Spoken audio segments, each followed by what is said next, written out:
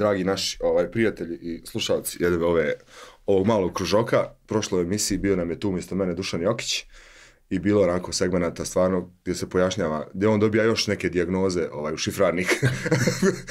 Nakon svakog javnog nastupa sve šira, šira lista stvari zbog koji može biti optužen. Ovaj. nadam se da će, I nadam se da će biti jednog dana da, da će ovaj narod se obračunati. Ohrabrujemo institucije sistema. Jer stvari koje on izgovara stvarno za hospitalizaciju ponekad. Ovaj. Danas, ovaj, e, pošto prva, prve četiri epizode smo samo nas trojice tu brbljali kao na nekoj beskonačnoj pivi u Fridi, ovaj, sad smo malo razbili monotoriju, tako da nam je danas u studiju doktor, uh, najveći doktor među pjesnicima i piscima i jel, najveći pisac i pjesnik među doktorima. Među, ja, lažni doktor. Lažni, lažni doktor. doktor među piscima. Isto izbjegao zatvor. isto izbjegao Isto izbjegao zatvor. u malo težim, u malo težim uslovima. Kad to nije bila zajebancija. Pa dobro, ja sad je, ja mislim da ne, ne mogu ja prevazići Jokića što se tiče tih. Ali pazi, on ima teži izazov. Tad, si, ovaj, tad je ono, se stvarno moglo odgovarati za nešto. Sad je gori sistem gdje ti možeš pričati što hoćeš, ali... A samo te, samo te, samo te ne registruju. samo te ne registruju. Da, to. Pa ajde, ako smo otvorili to cenzuru kao, kao prvi fenomen... Je ignorisanje možemo... današnja cenzura? Apsolutno. I to je najvještije moguće. To se na, u, tom, u tom ignorisanju se naravno, ta, ta, kako se to kaže, e, parlamentarna demokratija ili ta sloboda, mi, sloboda e, najviše izvježbala. Jel? Najbolje je pustiti da, da kažu, onda ti, ka, ti to skloniš ili, iz, ili kako da kažem, sakriješ neđe iza ponoć da to emituješ i ti si pustio svakoga da kaže šta hoće, a s druge strane onaj a, to nema nikakvog efekta. Za razliku od onog vremena kome sam ja, kome smo mi počinjali, gdje je ta vrsta cenzure, ona cenzura formalno nije postojala, ona je bila kao uh, uh, uh, uvijena u nešto što se zvalo uh, uh, komisija za šund i kič. I onda ako se napiše neka pjesma i, uh, koja se proglasi šundom, ona se ne zabrani, ali se delegitimizuje ali, u javnom prostoru i to legitimiše se kao za šun i udari se na cijenu. Tako da su naše ploče, ploče zabranjenog puštenja uvijek bile uh, nekih 20% skuplje od ploča bijelog dugmeta ili ne znam, bilo koje druge grupe koja nije bila o, o, o, označena šundom. Šundom su bili označeni pušenje, uh, uf, uf, uf, recimo pankrti, Misliš, rekao, skuplje, misliš da jeftinije? Ne, skuplji, mi smo skuplji od ovih, Aha. što smo šun. Da, da, ti, ti si da, znači, ako je 100 bio, dinara, da. da. ako je 100 dinara bilo, recimo, bijelo dugme, mi smo bili 120 dinara, jer je komisija za šund, da. šunda. I to je, uh, ta, te, i to, mislim da su bile prve dvije ploče. O, već od 87. ta institucija je prestala da, da, ili da postoji ili da funkcioniše. Baš se zvala komisija za šund? Mislim da je zvala. I ko je sjedio tu? Pa recimo neki, neki, neki kulturnjaci to. A političari? Pazi, uh, ne. Nije, nije, nisu. Nisu, pa nisu političari. Ipak je bila evitacija sistema, da, da. da. Bio je, ne, to, to jeste bio ozbiljan znači, sistem. Samo što je, da, neki umjetnici, neko ko je bio zadužen, kako da kažem, za, za korigovanje e, razmišljanja mladih. Ali, a znaš šta je tu fora? Tu, tu su dvije stvari bile u igri. Prva stvar je to što je sam sistem bio izuzetno uh, ozbiljno uh, konstituisan.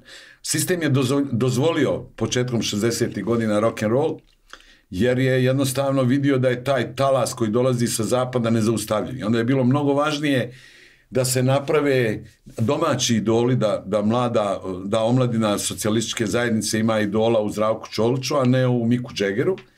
I onda se dozvolilo da se svira na, tako da taj, ta muzika, naročito u multinacionalnim sredinama, kako što je bilo Sarajevo, je bila neki način amalgam među tim, među tim kako se kaže, uh, uvijek zategnuti među nacionalnim, među religijskim odnosima. I onda je rock and roll bio idealan uh, kao potpala, kao nešto što nije nešto što nije puka ideologija kao što je komunizam u kome smo svi mi proletari treba da se ujedinimo nego je ne, kulturološki fenomen koji je sklonio uh, religijske razlike sa strane i, ta, i, i zbog toga se i dogodilo najviše zbog rock and rolla se i dogodilo to da se rodile generacije koje uopšte nisu znale kojoj religiji pripadaju ili koji uopšte nisu imali To je bila dimna zavjesa. Da, da, da. Pa to je Ali se dim razišao. ispoca- Ali se dim razišao. Ali se dim razišao, ali mogu ti reći, vratio bi ja ta- taj dim Taj nazad.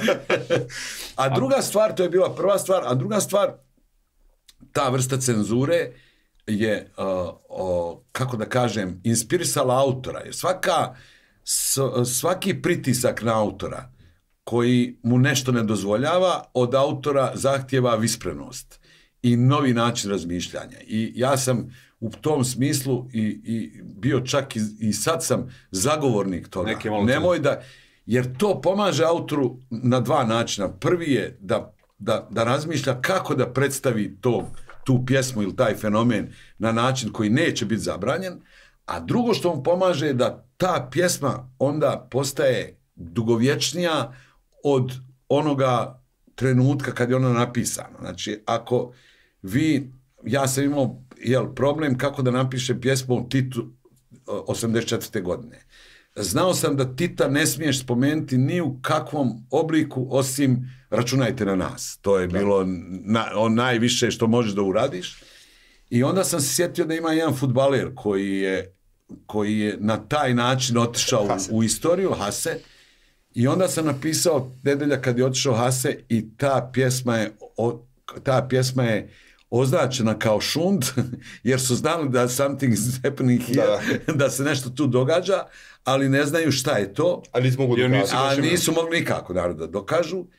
I, ali je to pomoglo pjesmi da je zaživjela i u drugom vremenu, jer je vrlo lako bilo toj pjesmi da se prešalta sa te ajmo reći, političke linije na umjetničku liniju i on danas živi. Da sam ja napisao nešto protiv Tita, to bi otišlo zajedno sa titoizmom.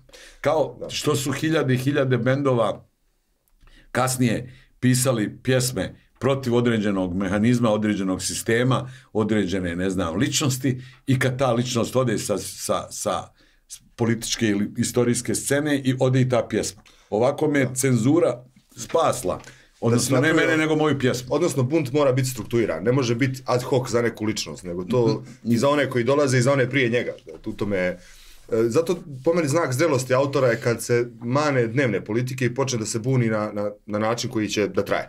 Da, apsolutno. Mi smo pričali o tome, da li, koliko vama e, to, pre- da li je taj šifrarnik koji, smo napra- koji ste napravili vi, ovaj, no- i no- novi primitivizam i sve, i kroz skečevi, i kroz muziku, jer to je ipak jedan integralan sistem bio. Preljevalo se sa pušenja na New Primitives, na nadrealiste, na Radio Primus, na ovaj, Ja, ne Elvisa. Ja, i- da, sve to. E, Koliko je taj univerzum koji ste stvorili, znaš, koliko, koliko je bio šifriran da možete da komunicirate sa narodom, a da to prođe ispod radara ovaj, cenzure. Znaš, koliko je poru, kako je, to, da li je to uvijanje to o, kojem ti, o čemu ti govoriš, taj strukturalni bunt. U, u, u- u suštini to jeste bio, to jeste bio neki, da, neki bunt u, u, u, unutar neka, kao, kao neka ilegalna organizacija koja se bavi subkulturom, a pritom nema, nema jasnu ovaj nema jasnu Da, e, jasne kodove i prepoznatljive kodove van njene organizacije Da, da. odnosno a, za razliku od sarajevske, klasične sarajevske rock škole, koja je bila jel, od indeksa pa vamo bijelo dugme, idi mi dođi mi,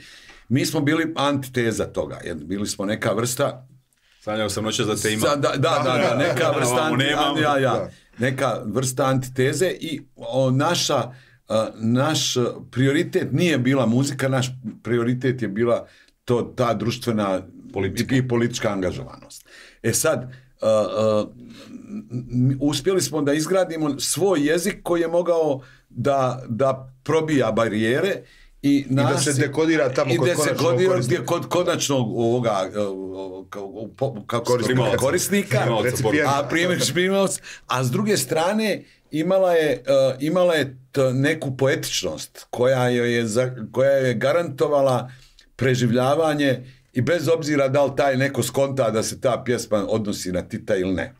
A, me, metode koje smo, smo se koristili, najvažnija metoda što se tiče top liste, bila je naš šarm. Jel? Taj šarm je prikupio ljude oko sebe, bez obzira na godište i bez obzira na, na, na kako se kaže, intelektualnu ili obs- školsku spremu.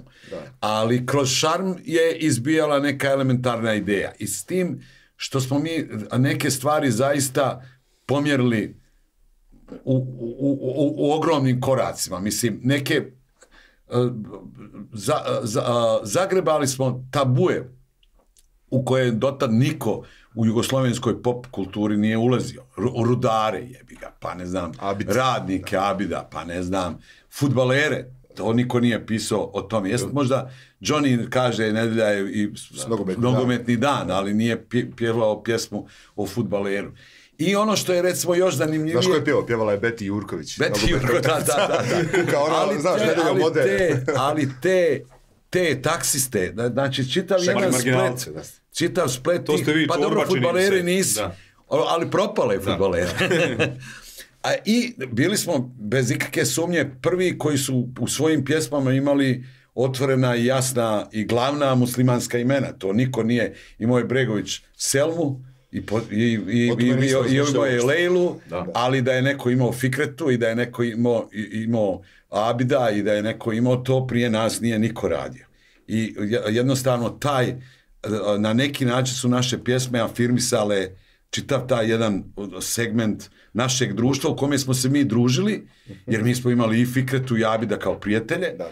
ali o- ni- o- nikako da dođu na red pjesme o njima, bil, jer od, od Dragane, Milene i, i drugih imena i tu smo Kristine. recimo taj, taj, taj segment smo mi bili, bili onaj, kako se kaže, prvi, Kao da prvi neki, koji smo neki pokrenuli. geto osvijetlili prvi vi. Pa ne možemo reći geto, jer to, Ali on, u- u- to su više bile naši drugi, ali u tom... smislu. Da, da, da. I onda smo napravili taj, i onda je taj imidž nas kao Sarajeva, jel, onda je, onda se uh, sve ono što je vezano za Sarajevo gledalo se kroz, kroz nadrealiste i kroz zabranjeno pušenje, što u suštini i a, zabranjeno pušenje nema, a, ne postoji ni jedan bend na svijetu koji je bio toliko vezan za grad, pojam grada, kao što je pušenje za Sarajevo. Jer mi znamo da je, ne znam, Bruce Springsteen iz, iz New Jersey, ali to mogo je biti iz, Da iz uh, Minnesota, da. jevi ga. Mogo je, Da, da. Bregović se mogao roditi u Zagrebu isto. Atlantic bilo. City, da, mislim. Ja, Streets iz- of Philadelphia. Da, da, da, da, da, Philadelphia. tako ništa ne, uh, ali kad se kaže zabranjeno pušenje, ta, ta veza između grada i, i pušenja je bila toliko jaka da se stavljao znak uh, jednakosti. Otuda ta uh, histerična reakcija uh, današnjeg Sarajeva na mene, jer ja sam Podsjetnik. na neki način, da, čovjek koji je, koji je uh, legitimisao taj, koji je tom gradu uh, nacitao kontu, ko- konture u, u, po- u popularnoj kulturi Jugoslavije. Jer Sarajevo prije nas i prije rock and rolla je, je bilo zaista nešto što je bilo van svakih tokova. Ajde da ne kažem tamni vilajet jer je to ono toliko izlizana neka floskula. Ali, bilo, je- ali bilo kao, a- nećemo a- dirati to, ko zna šta će izaći. Nećemo dole sad kao previše svjetla na Sarajevo. Ne samo to, nego ono je od, od, od 1462. treće, kad je Isa Beg Isaković napravio Carevu džamiju, do, do, do dana današnjeg imala ili dva ili tri ta sv- svjetla trenutka, ne znam, vrijeme mlade Bosne i vrijeme popularne kulture u, u SFRJ. Ja to kad spominjao ovaj, da je država omogućavala ovaj, na neki način pospješivala rock and roll bendove, na koji način, sad evo, iz, na koji način se to u stvari dešavalo? Čini se da si jednom pričao da su svuda bile studiji, gitare, da se lako moglo doći Pa, do opreme, da. To je u Sarajevu bilo Jel sad neko urgirao baš da se pravi, mislim, znaš, no sad A ja mislim- ima taj mit, ja- ja- služba je forsirala nije bendove. to, ne može služba, ja ne znam da li ste, ja, ja vjerujem da, sin, ja vjerujem da ste vi gledali film, sjećaš se Dolly Bell. Jel se sjećate kako taj film počinje? A počinje u, u mjestnoj zajednici, ne znam, Jekovac, ne znam kako se zove, u kome predsjednik mjesne zajednice kaže da je jako važno, da je stigla direktiva od ozgo, da mjesna zajednica mora da ima svoj orkestar. Jel se sjećate da tako počinje film? E, taj film, odnosno scenariju za taj film je pisao Avdo Sidran, koji je vjerovatno u tom momentu bio mnogo upućeniji od mene šta se radi. Jer ako direktiva dođe od ozgo, da se napi, napravi orkestar, to znači da se sprema određena oluja, da znači svaka mjesna zajednica u Sarajevu, a vjerovatno i šire, mora da ima svoj orkestar da, da bi počeli da polako primamo rock muziku, odnosno stranu popularnu kulturu, Da je na svoj na- mi, da je- sama. da ne bi... Sad bi bila da, direktiva podcast. I njihova, upravo, upravo to. I, i uh, uh, Sarajevo je u tom momentu bilo, uh, uh, ja mislim, određeno da bude centar te kulture, uh, pop kulture, muzike.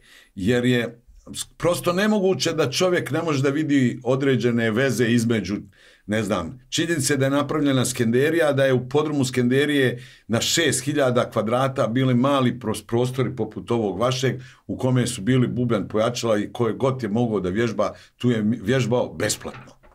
Znači, ajde da vidimo da li to nije organizovano. Da. Druga stvar, na mjesto glavnih urednika ili urednika na televiziji i radiju se dovode neki ljudi koji prvo imaju, prvo imaju uh, veliku otvorenost prema, prema aj reći ćemo, zapadu, a drugo o, prema jel, popularnoj kulturi, a drugo što su mladi za umjetnike, ta, za urednike. Tako je došao Duško Trifunović kao urednik o, tele, u, u, muzičkog programa televizije Sarajevo. Ili Boro Kontić koji je imao 26-7 godina kad je bio urednik emisije u kojoj je zvao top listu nadrealista Da. da radi. Da, radi ajde primus. sad pokušaj da nađeš da, da ajde sad mi reci da to nije da, da je to bilo slučajno. I na kraju krajeva Duško uvodi najveću revoluciju u istoriji uredništva o, o, o, ove, kako se zove, televizije, svih televizija u bivšoj Jugi, kad kaže da bend može da bude na televiziji samo ukoliko ima svoju pjesmu. On tog trenutka otvara konkurs za stotine hiljada nas, autora, koji smo bili onako, kako da kažem, a, a, opterećeni činjenicom da moramo reći svoju priču, a ne da uzmemo Rolling Stonese pa ih prevedemo na, Samo na neko jezik. tako- Samo smo čekali i onda je krenulo, to do duše, do duše to se ko, kosilo, kako se to kaže, to je bio sukob interesa, jer je on bio pisao pjesme. Tako da je, tako Napravio da sebi se, posla, napravio napravio sebi posla, ali hvala Bogu da je Da, tako, jer Bogu. njegove pjesme su Jesu, ostale fantastične. dio istorije jedne kulture. I u tom smislu mislim da, da, se, da se to vodilo vrlo svjesno. I šta je bio rezultat? Rezultat je bio to da nije postojala ni jedna svjetska grupa koja, koja je mogla da proda u Jugoslaviji više ploča od jugoslovenskih grupa. A, mi smo 84. izdali prvi album, te godine je izašao u Jugoslaviji thriller Michaela Jacksona koji je najprodavaniji u istoriji rock muzike u tom momentu bio. U Jugoslaviji smo mi prodali više ovaj albuma od, od ovoga, kako se zove, Michael Jacksona. Ja ne znam, ljudi ovdje vjerovatno ne znaju, slabo se priča. Rolling Stones su svirali u Jugoslaviji u dvorani u Zagrebu, u kojoj smo mi punili dva puta. Znači, Rolling Stone, oni su svirali 75. 6. recimo. U dvorani u Zagrebu, u ledenoj dvorani koju smo mi dolazili i kao evo možemo još jednom. Kao ako hoćete, radimo još. Znači, uh, ta polit, pa, plat, pa, partijska politika tog iz filma Sjećaš se Dolly Bell je uspjela da uradi ono što su oni htjeli, da naši junaci, naši heroji, naša muzika, naše zvijezde budu veće zvijezde i Samo što je ta I muzika u jednom momentu kao da je prerasla. I to što si kao da je Ne, ne, prerasla ja koji sada. kako se, da, ne, se problem, je, da. problem je bio u tome što ti jednostavno kad imaš toliko dobrih autora, ti to ne možeš više kontrolisati. Tako. Onda kreće Erupcija. akcija i reakcija. Ali danas ta muzika koja je nastala na taj način uh, je- najslušanija u, u Jugoslaviji, bivšoj ili kako se već zove, XU. To se govori, na primjer, Čole, na primjer. Da, pa eto, Čole je še, se, šest arena napravio u Beogradu, a on je samo vrh brijega. Da, da. Ovo sve dole kad bi se otišlo. Najveći fenomen je sad, kad smo već nova vremena, nova doba, a, bi, bivša Jugoslavija ili Jugoslavija, ne znam što stalno govorimo bivša, kao kad sad ono bivša Austrougarska. Niko ne kaže bivša to je- Austrougarska, samo druga Jugoslavija. Da. ovaj, je, je imala to, im toliko popularnu, jaku popularnu kulturu, da su posljednje dvije Eurovizije, o, o prošlogodišnja i ovogodišnja, sa našeg terena dobile dva koncepta, ne dvije pjesme, nego dva umjetnička koncepta. Prvi je bila naša konstrakta Da. prije prošle godine, a sad je onaj uh, uh, hrvatski let 3, koji nije, mi smo jedina zemlja koja učestvuje u, Euro- u Euroviziji od Bio je hiljadu- prije par godina sa onim isto nekim... A je li bio imao Jeste, koncept ili je bio koncept, samo... Imao je e, koncept, eto, to je došlo i- nekom gunju. nešto Eto ti Rambo. Da. Eto ti Rambo. Došao Znači, i, rekao je sve suprotno ono, od, od uobičajenih ovih. E, ali pošto mi stalno raspravljamo, evo, ti, ti si nešto, ko- neko ko voli futbal isto, i to ti je dio, veliki dio, ovaj, rekao si, mozga i života zauzelo. Kad sad mi raspravlja se stalno sad koji je najbolji, najpopularniji, najkvalitetniji band iz bivše Jugoslavije, jer je i našu generaciju sačekalo da slušamo tu muziku, iako smo se rodili skoro. Ja, Ja. sam 85. godište, tad je možda izašao dok čekaš sabah sa šeitanom, je tako? Znači, eto. Ovaj, Jeste. kako, evo, ako je Zdravko Čolić Real Madrid, recimo, kako ti, kako, ako se složimo oko toga, ne moram. Možemo, kako ti ja, klasifikovao dalje sad bendove, uključ, ne samo sarajevske, nego uključujući sve. Ko je sad tu, recimo, Bayern, ko je Milan, uključujući Pa, Čorbu. te, teško to mogu tako, ali recimo o, imali, imaš te bendove, e, imaš prvo tri, ta, tri, četiri, pet imena koji su fundamentalni, jel? Jedna, jedno je Čola kao najveći, najveća zvijezda, zatim Brena kao njegova antiteza, jel, žu- muško, muško-žensko, ali to je to. Imaš Bregovića kao najvećeg autora koji je onaj tu bio, jel, i, i, i koji je stožer jugoslovenske popularne kulture, imaš Kornelija Kovača koji je jedan od tih koji je napravio sve njih Da. na neki način i imaš Boru Čorbu kao, a, kao alternativu toj, toj čitavoj grupi, kao narodnog, srpskog narodnog Jeste, pjesnika jeste, koji, koji, Filip je, koji je, do- dolazi direktno sa, Sa sa, sa, iz nekog, jest, da. I tih pet ljudi je u tom smislu popu, ne samo popularnosti, nego i svega toga, a, nosi tu tih pet apostola, jebem li ga, koji su najvažniji kad, kad, kad bi ja sad nekom kinezu objašnjavao šta je to bio rock'n'roll. Brena Čola, Kornelij Brena Kovač, Čona, Goran Bregović i, Bora i, Čola. Bora. To su neki... neki Štulić? E, on je, On- on, je drugo, već nešto drugo. da. On pripada ovoj jednoj drugoj grupi autora koji su za mene u, mnogo bolji od ovih prvih, Da. prvih pet. On pripada toj nekoj, kako da kažem, grupi autora koja je, dobro, on je jedinstven. On je, po meni, najveći pjesnik na ovom jeziku.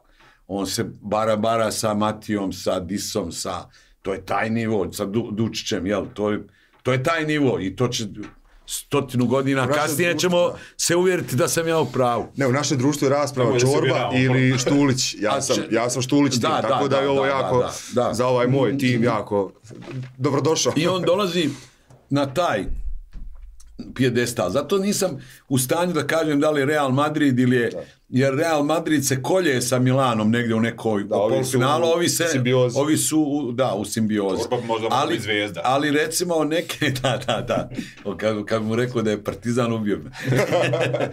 Onaj, ali oni su, sad, jel, imamo tu kao ekipu oko, kao poput poput, ne znam, grupe Bulldozer, koja je imala opet svoj umjetnički koncept, koja je, recimo, koliko je naša kultura, uh, popularna kultura brzo rasla, e, između, između uh, uh, onog prvog trenutka kada je DJ u, ne znam, neđe u Tennessee izgovorio prvi put te riječi rock and roll, do pojave Franka Zappe je prošlo kao antiteze rock and rolla, kao nekoga ko, ko se sam sebi ismijava što je rock and roll, je prošlo nekih, ajde neke ovo bilo 53. četvrta, ovo je recimo 60, 13, 14 godina.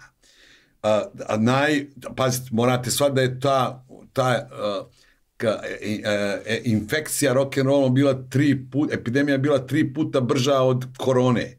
To se za, za što ACDC kaže 10 million fingers Da. je svirao, svi su svirali. I njima je trebalo, znači, do antiteze 14 godina. Uh, Jugoslaviji je od prve autorske pjesme koja je napisana 67. a za koju neki tvrde da je Drago Mlinarec, a neki tvrde da su indeksi, do pojave Buldožera 76. je prošlo 9 godina. A Buldožer je Frank Zappa, on je antiteza onoga. Znači, nama je trebalo 9 godina da ispovraćamo sve što imamo od Jimi Hendrixa, Dodgeni Stones i Beatlesi, odnosno, ne znam, Bijelo dugme, Smak, uh, Time, ovo ono, do Buldožera, koji je kao potpuno Kako okrenula. kaže Štulić, postoji kurs akcije, postoji kurs reakcije i postoji kurs interakcije. Inter- I onda dođeš na taj treći kurs interakcije, kad ta kultura se odvoji od, kad se Jeste. ispovraća, ona ide kao balon i onda samostalno egzistira i razvija se. Apsolutno tako. I ona je bila, uh, mislim, to je sad, ajde kad smo već ovo pos, posvetili jugoslovenskoj popularnoj Da, kulturi. još, ćemo- znaš, ajde, ajde, završi. ona se, da, ona se, u, o, kako da kažem, ona je u, se ušunjala unutar uh, na, naših generacija. Ona je, ona je srasla u nama toliko da je to sad više nije bilo moguće nju odvojiti. Volili smo mi slušati strane grupe. Ima, bio je neko od nas koji je slušao samo Lurida, mislim. Ali onaj socijalni dio tebe kao slušalca te je vukao na koncert Bijelog dugmeta, volio to ili ne? Da. Ili na koncert, jeli, Čole. Ja nisam imao ni jednu jedinu ploču, ni Čole, ni Bijelog dugmeta. Ja to nisam slušao, ja sam punk rocker. Ali nema te pjesme od ta Koju dva nisi znao. autora jer koju nisam znao napad. Ja sam bio na čolnom koncertu prvi put prošle godine i, odluč, to je i odlu- odlučio sam da uradim to i bi- bila je jako lijepa I atmosfera on je- on je oluja na koncertu. Pazi, tri i po sata. Da, da, da. da. Svi znaju sve pjesme. Od 7 do 77. Lako, lako je njemu kad ima sve zence blues. Tako i kod Bajage na koncertu isto, ja sam bio. E, ok, Bajag, fest- zapitio sam te pita za Bajagu. Ja sam isto Bajag, ono, kad si mlad, pa ti to sporo, dosadno. I, I kad sad, kad malo ono, ideš u godine, pa usporavaš, pa malo analiziraš, on je isto specifična pojava. On se odvojio od bore, od, od, od, čo- od, od riblje čorbe i ima, e, kod njega je bunt nekako lijepo upakovan u, u, u, u, u ne možeš reći da on nema socijalni komentar. Ne, ne, on Naprimjer, ima uvijek. Pjesma Gde si, o, jako lijepa pjesma koju, koju, on- koju on snimio 94. Ja, kad je- Kaže, to je- stotine kilometara daleko od mene. muzika na struji, ali to je taj album. Da. ali Ne dobro, to je po to. albumima, ja, ja sam ova generacija. ja, ja, po koja je bila po pjesma.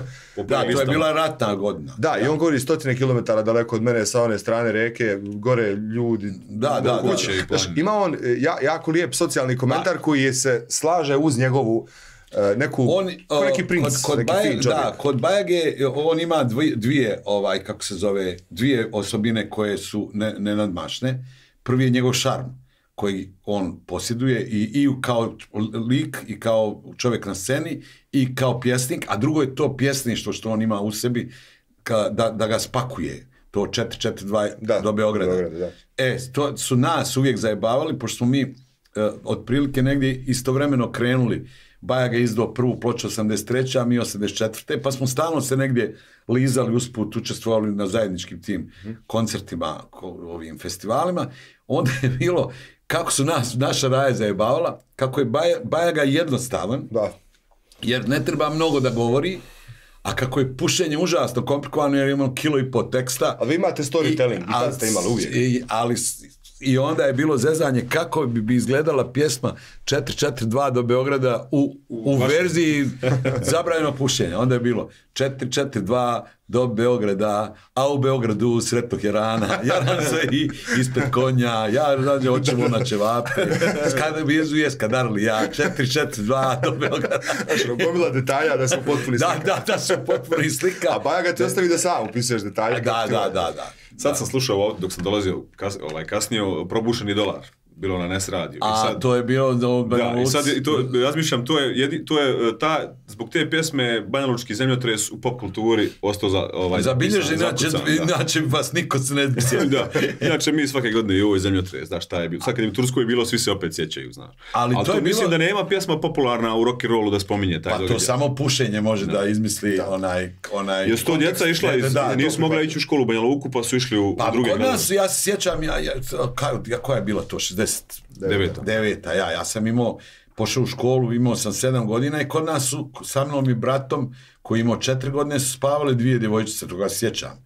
Dvije djevojčice iz Banja Luke, koje su došle, jer nisu imali dže, jer ovdje je bilo ono sravljeno sa zemljom. A to je uvijek, ja imam čitav jedan, ja sam to napisao u jed, čitavom jednom, kako se kaže, ovome, poglavlju u, u knjizi Solunska 28, kako je naš narod velik, kad je nesreća, ali kakvi smo su kad je sve bude okre. E, ta Banja Luka je, to je, mi- mislim da je Emir Kusta je bio taj koji se sjetio tog detalja, jer smo htjeli da napravimo tu pjesmu kako je neka naša djevojčica koja je, koja je ovaj koja je jako lijepa, na kraju pala pod, o, jel, pod, Da, pod, pod, mangupka. na, najgoreg man, mangupa. Da, da. I on se sjetio tog detalja, rekla je da je iz Banja Luke i da se tamo zemlja tresla. To je njegova ideja bila i onda smo iz toga dalje pravili, pisali, pisali ostatak Ovaj. teksta. Mislim da je Seo taj koji je napisao gr gro, a da mu je Kusta dao to. Ali, eto, ne samo, a, a, recimo, a, Put u središte Rudnika Kreka Banović je pjesma koju sam ja napisao a, kad je bilo kad je bila nesreća u Rasputoću, to je bila Rasputoć je 81. Gorik, ja. da. To je, to je bilo eto kao mislim u, toj, u tom tekstu imaš recimo sve moguće detalje socijalnog prikaza tih radnika, odnosno rudara iz tog bazena, kako im je ideja da odu u velenje, jer u Sloveniji je tad bilo mnogo, mnogo bolje. bolji uslovi, mnogo bolja ova, kako su imali to samo da nije sutra subota radna, jer se nekad desi da, da ne znam šta i koliko je u stvari, a, kako da kažem, ta a, politička ili, ili ne znam kulturna elita gledala na rudare kao kad ova piše pa telegrami sučuti. Tad, tad Da. ih se tad ih se, se sjetim. I jezički je to zanimljiva stvar, to mi je prije nekih godinu dvije napomenuo jedan moj drug lingvista, da smo u toj pjesmi pjevali malo ekavski, malo i ekavski. Ali ja ne mogu da se... Da. On pomisli kako bi, kako bi petak bio lepši Da. da sutra Ali nije. nis- da nisam Ali čuo, i, nisam i, i kako smo rekli, telegrami ne saučešća, Sućut. nego sučut. Da. Kao što je riječ to govori kako je naš teren bio za jezik, ono, ne da, zna da, se, slivo, ovaj da. skeč s, uh, srpski, Da, crnski, gorski, gorski, ja, ja. Ovaj, e, kad reče to za opet, Štulić kaže, za nesreće kako narod velik, kaže, ljudi vole katastrofe, to izbližuje. E, spominjanje budi, bu- budi korijene. A druga stvar, samo za, mislim Da. da, je Dušan Kovačević rekao za Bajaginu pjesmu Grad, da je to scenarij za film. Kaže, ja, to, u toj pjesmi imate, sad ja to nisam razmišljao o tome dok onda uzmem pa pročitam tekst kad on objašnjava kako je stigao kasno, kako, kad Ovo to je je... tamo neki grad, da, da, da, da, da, u njemu, Znam, da, da, ali da, da. da je to njegov storytelling jedini bio, u, jedan od rijetkih zapravo. Da, gdje da, on dobro. napisao neku priču. Htio sam te pitat, uh, naravno, to je česta tema i to uvijek treba da se ponavlja, slažem se, sve ovo o čemu smo razgovarali. Međutim, na početku smo rekli da je stvarno teže Dušanu Jokić danas. Jer je neprijatelj nevidljiv. A to misli, skačemo, da, da, da. ajde da, da, pokušamo Da se- kratko ovaj, Da se prebaci. da se prebacimo... cenzure jer- vrijeme previše Jer informacija. neko, neko, neko Da. će ovo gledati, znaš, neki, neki klinci će možda gledati, šta im reći, znaš. Ma ne možeš ti tu ništa da, Da. kažeš, to je Ništa, jednostavno buka. Buka. A kad smo se mi borili da bi do ovoga došlo, mi smo imali ideju da bi taj neki kvantitet koji bi oslobodio medije, napravio nove vrste, nove izdavačke kuće, ovo ono, da, bi, da mora da donese kvalitet. Međutim, desilo se potpuno suprotno. Kvalitet je pao, ali kvalitet je pao, mislim, je ja, isti, ja, samo je- ja se sa Jokićem tu slažem i to je kapitalistički princip, jel? Uh, uh, ako je profit jedino što nas interesuje, a jeste, onda svi gledamo naj, uh, naj uh, kako da kažem, najprofitabilniji produkt, da napravimo najprofitabilniji produkt na koga će se što više i više ljudi nakačiti. Jel? I onda je najbolje ide porno industrija, onda tu ne može da dođe do greške, jel? Oni su porno industrija i igrice. Jer to je profit koji u, u eksploziji ove, kako se zove, informatičke revolucije najviše daje plusa. Jel, dok ti napraviš Najviše- ozbiljan film, dok ga uh, uh, procijediš... A dođe na isto. Ne, Ne, ne, ja ne. mislim da je income mnogo veći, je profit je, ja, profit, je, profit je mnogo veći kad ti imaš dva glumca koja se, ili glumca i glumicu, ili tri glumice i dva glumca, koji se sad- valjaju goli u, u ovome, razumiješ? Ili igrice koje su mnogo... Hoće da kažem, zadovoljavanje primarnog instinkta je isto. Kod U većine suštini, ljudi. Da, kod većine ljudi. I onda je, i on, a, a opet u svijetu revolucije, u svijetu informacija, a, loše informacije po prirodi stvari imaju mnogo više klijenata. Jer ti kad vidiš da se nekome, ne znam, rodila beba, ti se onako intimno ti je prijatno, ali u suštini ti se jebe da li se rodila beba. Ali ako čuješ da je neka beba izgorila na 17. spratu, uh, ne znam, u Minnesota, ti automatski ideš na, na to da vidiš šta je. E sad to je, to je psihološka, mentalna poremećenost ljudskog roda. Tu mi ne možemo ništa. Jednostavno, biti neka reakcija. Jednostavno, da, jednostavno mi idemo na klik kao što na, kao što kockari idu u kladionicu. Oni ne mogu da izdrže. Oni, pa, to je patologija, ali, ali za sad lije, lijeka nema. E sad kad vi imate takav jedan konglomerat tih silnih vijesti u kome u kome vi ne možete onaj da kontrolišete ništa od toga u suštini jer ne postoji ni jedan Google koji može da tebe odvoji od neke vijesti koje ti želiš da čuješ pa makar ona bila i protiv Googlea jel? Onda u to, od, tu se samo stvara buka jedne, jedne uh, kafane u kojoj svak uh, govori glasno svak se poljeva pivom i psuje jedan drugog. Jer I svi se drugčije, snimaju. I svi se snimaju.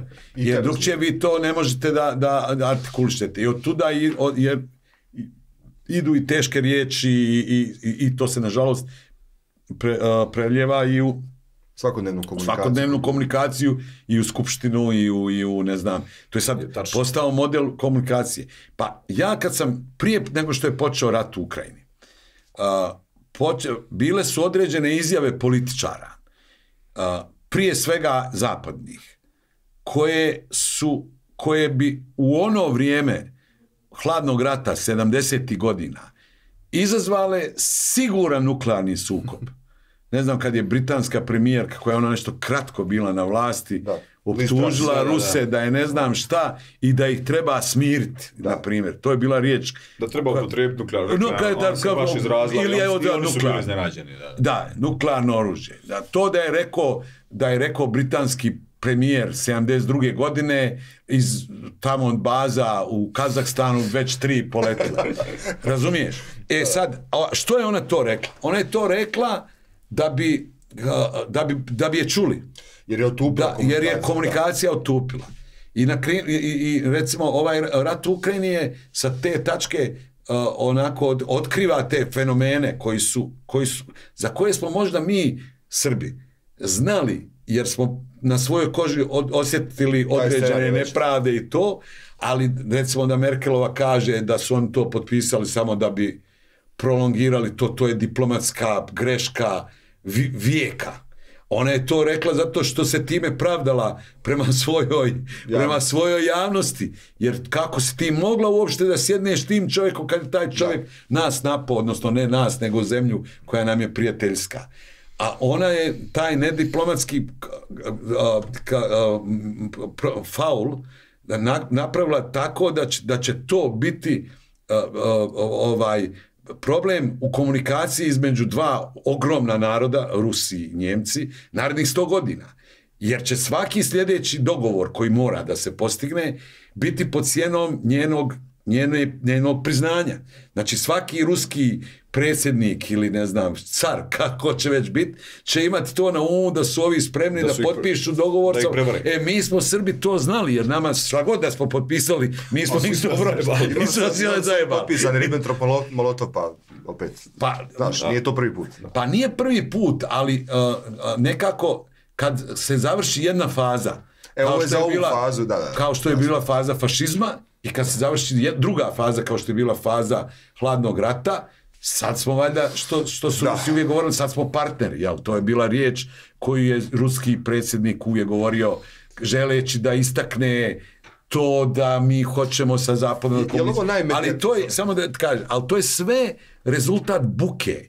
Jer ona je to morala, ona da nije tolika buka u, u informacija u Njemačkoj, ona možda to nikad ne bi ni rekla.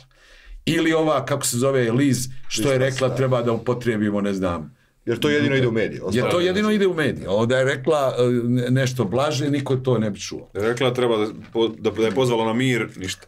To više niko ne. Je li ovo sad u Ukrajini najmedijatizovaniji rat koji mi do sad gledamo u istoriji ljudske civilizacije u smislu Bio je rat u Siriji, naravno, ali nije te- tehnologija bila toliko prisutna. Znači sad doslovno GoPro kamere su na, na, na Da. kacigama, e, snima se, evo skoro je bila jako e, interesantna situacija, mislim nije interesantno da ljudi ginu, ali da istovremeno imamo snimak ruskog drona koji gađa uh, neko, neku, neku, kako se to kaže, ono, kad ih ima više vojnika, ne, rov neki. I s druge strane imamo snimak koji paralelno se prikazuju GoPro kamera na kacigi ili na prsima vojnika od jednog Britanca, očigledno vidi se i po i akcentu i sve, koji pritrčava i sad paralelno kako pada od ozgo, vidiš kako ovi dole Ja, poklapaju biće, pe, biće besmisleno snimat ratne filmove. Pa imaš ih uživo, znaš ono te. Pa znaš kako, Kamera ja moram da ti priznam da ja izbjegavam uh, informacije sa ratišta i ja mene to strašno Ovo je naletilo na Twitteru. Ovaj, I, da, da, vjerujem. Ja, ali, ali, vise ja generalno grupama. više, ja prvih par dana sam čitao i pratio misleći da će se sad završiti, jel? da će poslije dva koraka lijevo i dva koraka desno neko reći ne, ali očigledno da to ne, da nema, nik, da nikome nije u interesu da stane, ali i tako da sam odlučio da ne pratim to. Međutim, jednostavno ne možeš da ne, da ne dođeš do određenih informacija, ne možeš da te mimo iđe Da. to, Bahmut, Mahmut, mislim sad smo, s- ako ništa saznamo geografiju. Jeste, nabrajaju se Ovaj, svaki da, dan. Da, da, da, da. Tako da, onaj, e, mislim, o, ja mogu ono samo da kažem da je da će šta god da se desi, na kraju morat neko da sjedne da se dogovori s ovim drugim. Tako je. Znači, i da, i da krene najgora, najgori scenario koji, čije ime neću da izgovorim, jer često se desi da sam ja taj koji to nešto... To se rekao iz Ukrajine, čovječe, 2014. kod ovoga... Pa, u kod- N1, kod, kod Zukića. Lazansko- ne, kod ne, kod Zukića, Zukića, Zukića. Da, on je, da, on je mene pitao, ja ne sjećam oni- tačno tog razgovora, ali znam da je bio temperamentan. Ne, ti si rekao, On- citiram, uh, 2014. govoriš, kaže, evo vidiš sad ovo u Ukrajini, kao nešto, bila je tema oko tih, ovaj, kao, ali nije ovo ništa sad, kao vidiš ti kad krene pravo sranje za 6-7 godina, čeče, 22, a prestani, znaš ono. Ne pričaj više. Dobro, znači, moje, znači šta god da je, na kraju će se morat, na kraju će morat Ajde se nadamo da to bude. Ja, ja. Tvoja- No, ne, tvoja dogovor mora biti, dogovor mora biti svakako. Da, na kraju. pošto pri kraju smo, znaš, imamo još desetak minuta, ovaj, mi kad smo tek ovo pokrenuli, pokrenuli kad smo zvali ovi ljudi da, da dođemo i da pričamo nešto, eh, naš prvi podcast je bio o tome ko će ovo slušati? Znaš, ima li svrhe pričati u tom silnom eh, protoku informacija gdje svi sve komuniciraju, komunicira se odlazak u kafanu, komunicira, znaš, kad kažem komunicira se, on se obavijesti na Instagram, na Twitter, na Facebook, na sve je bitno. Ovaj, ima li svrhe dodavati još u tu, u tu vodu, u tu rijeku još vode? Znaš, ima li svrhe sipati so u more? Ako, ako gledamo... Evo, reci šta ti misliš, pa ćemo reći ću ti reći. ja, ajde, o, ajde, ja ću biti kratak, što se kaže. Ako gledamo, znači, informacioni prostor kao jednu ogromnu kafanu, u kome se svi deru i svi gađaju, poljevaju se pivom i ovo ono gore dole. Tamo neke, neke o najzajebanijem se pareu sjedi CNN, NBC, uh, ne znam, Ratuju, da. r- ovo ono gore dole, Russia Today, već ti globalni. Ovo što vi radite je neka vrsta malog separea kojeg ste vi uspjeli da nađete unutar te kafane i brate mili, ko prolazi, a željen je fine priče, nek svrati Bujrum. taj se pare, izvolite Bujrum. I ja mislim, ja meni je to onako, ja, ja sad mnogo više pratim te stvari nego nego bilo koju drugu, drugu formu, formu Pa to je intervjua. reakcija. To je reakcija. na ono Nelson Piquet, ono, studio, da li je to bilo podcast predviđanje? da, da, dolazi, znaš, E, to- to- ulazi to su Lu- vi često pričali. Ulazi Luča, donosi kafu, to, je to, to sve može. To je televizija u kojoj sve može. Pa da je, profesore, znaš sad, iz, da, iz da da. se izujemo ovdje. Da, pa da, da, da, to je Jel sad. to bila najava vulgarizacije medija? I, Pa ja tome. mislim da je Da, jest na dogme neki nešto, To način. je Da, da. nezamislivo, čovječe, doslovno je to sad dnevna emisija. Da, to ti sad radi, to je, ali mi smo bili uvijek, recimo, uh, uh, top lista nadrealista, ona prva, 84. godine je bila negdje u isto vrijeme kad je počinjao MTV. I ja kao voditelj top liste nadrealista bio sam mnogo liberalniji u ponašanju od, od uh, mojih kolega koji su vodili MTV. Na MTV-u se prvi put desilo recimo da voditelj stoji. To nije bilo prije toga. No, kao dana, ali MTV je već tad bio taj, tad je već počela taj k, k, ne, k, uh, cable network. Da. Jel, taj, Kablovski, taj neki, da, kablovski, ali je ovo, profesor, da se čujemo, to je bila eksplozija tih alternativnih televizija koje su krenule i koje što se gori, to se bio simpatični raj. I tad sam ja u stvari prvi put i osjetio da kapitalizam donosi ukus gomile, a ne ukus elite. Za razliku od, jel, komunizma, odnosno tog našeg socijalističkog samoupravljanja, gdje je bi ga ovaj, Duško Trifunović bio taj koji određuje ko će s njim ploču. Da, ali pa, podcast su izraz isto generacije, ono, mislim, a, dosta klinaca snima to. I mi smo svi u, na neki način u medijima, on je novinar, ovaj treći kolega je Mm. novinar, ja ono, ono politika, mediji, držna da. I mi smo shvatili da u tom silnom e, glavnom diskursu koji i stvaramo i učestvujemo u njemu na neki način, da li kao participanti, da li kao akteri, da nam ostane dosta kusur informacija, kusur zanimljivosti koje, evo treba ovdje kao, ovo je za- zapravo reakcija na Aha, kurs na- akcije me, velikih medija, i tako Medija, dalje, ja. ne ovo, ne konkretno, nego svi, i Gale gdje si ti bio i ne znam, sad je tu, sad, i sad se i u podcastima stvara mainstream. Ti sad imaš, Ja, ja, sad je Galeb ono najzajbaniji. pa sad je to CNN, znaš, gomila reklama, sponzora, državne A dobro, raje. kapitalizam uzima Ne, ne, svoje. ne kažem to kao nešto loše, nek samo govorim da, je kao sve proces podložno, uh, uh, da, da, da, da se proces ne može završiti. I reći Da, sad, da, e, da. ovo je proizvod takav. On će uvijek da bude napadnut od strane tog uh, ukusa To je- mase, Da, da, da. ali opet će biti uvijek neka reakcija valjda da to štiti. Da, na neki način štiti. Pa mislim, čovjek je misleće biće, uvijek, ima, uvijek će biti dovoljno onih koji imaju ili drugačiji stav, ili širi stav, ili širi pogled, ili ne znam već šta, ili ovo nešto što je protiv mainstreama i to. Ne mora nužno biti smo- protiv mainstreama, reci. Ja, Ako smo, pošto je bio zamišljen naš taj emisija kao RS Explained, kao da mi sami sebi i drugima objašnjavamo Republiku Srpsku i šta je to. A, I često smo uzme, uzeli jedan grad ili opštinu pa, pa ovaj, tematizovali ga, bili su Bijeljna, Prnjavor, e, šta je Rogatica. bilo još, Rogatica.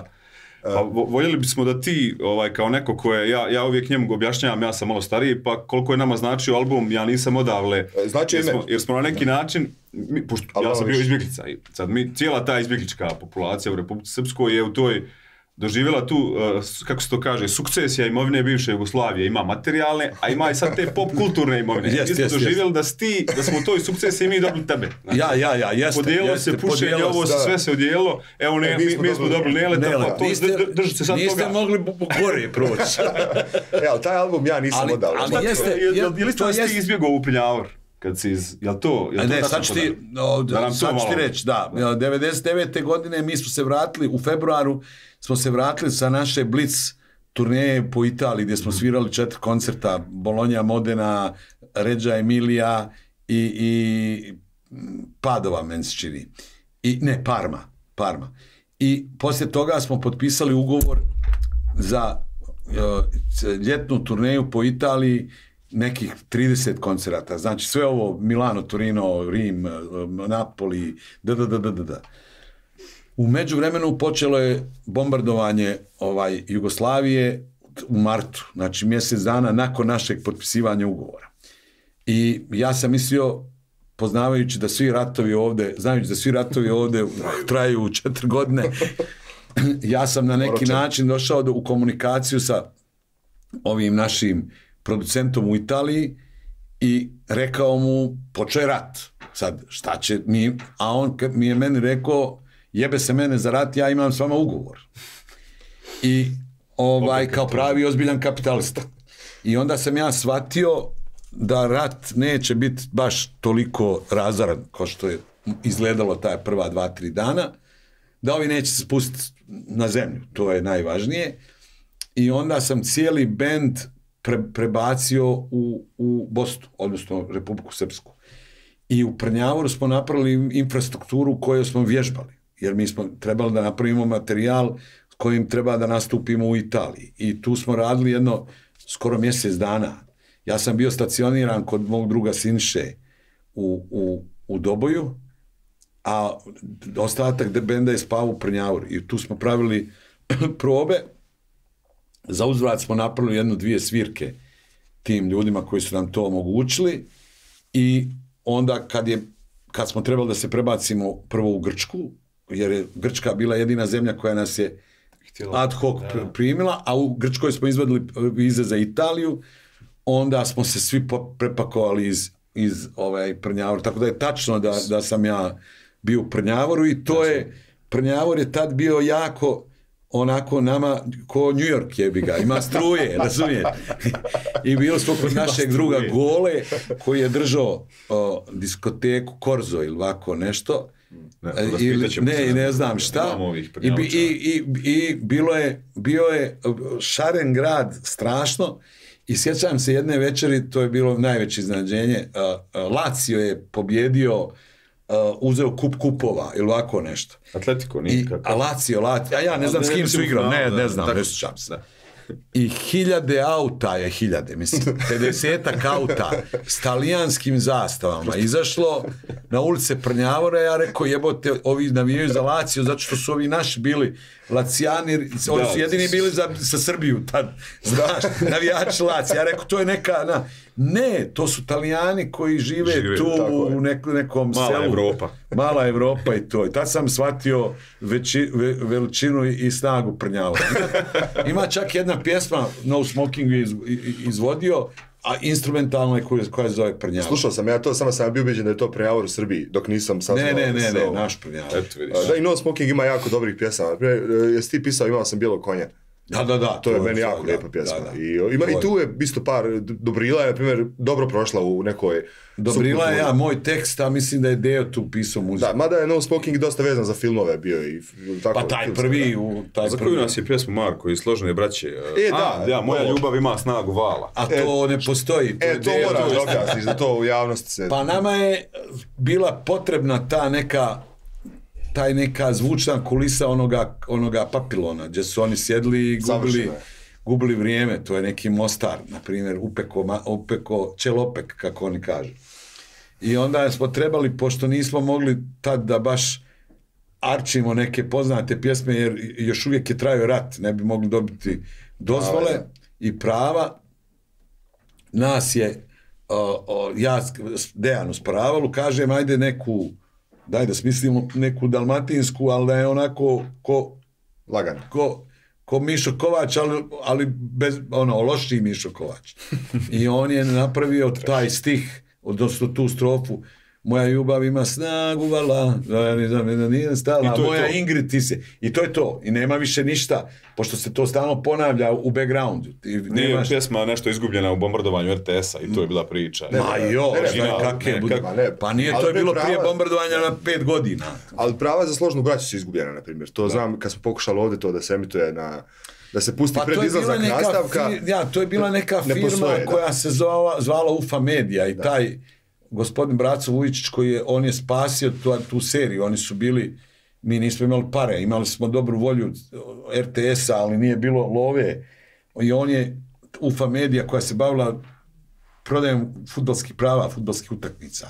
Oni su dali to Da, da. zahvaljujući činjenici da je on volio ono što sam ja radio. Da. tako je se složna braća napravila. Ali to je već za neki drugi podcast. E, da, da, o, možemo li se dogovoriti da nam opet, pošto ima Naravno. ti želje, naravno. ja ovako... Do- ovaj, Dođite kod mene, a možemo i preko onoga. Ponijećemo kamere A i... može, da, stavimo Da. to ovdje. A, da. E, hvala ti što si došao, po, Željo već rekao, ovo je naš mali pokušaj da objasnimo, jer Republika Srpska je po- postala posebna autonomna kultura, kulturološka, javna, informatička sredina koja sad samu sebe treba da objasni sebi. To je neka osnovna ideja i da na neki način ljudima iz Srbije koji su zainteresovani da čuju, oni jako je teško i komplikovan je politički sistem ovdje i teme su drugačije, ali ta javnost postoji i ona je prišljamčena na, na javnost Srbije Na primjer, puno je ljudima, ljudi ovdje više znaju šta se dešava u Novom Sadu nego u Sarajevu i to mi smo se odvojili medijski.